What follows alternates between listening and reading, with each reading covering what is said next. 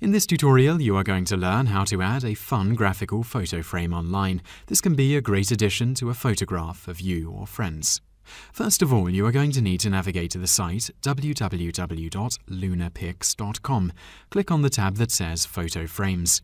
Scroll down and you will be able to see a wide range of effects, and you are just going to need to find one that you like. Then click on it. Scroll down the page that loads and click on the Browse button. Find the images on your computer that you want to frame and click Open. The image will appear in the frame below and you can simply click and drag on it to make changes to its position.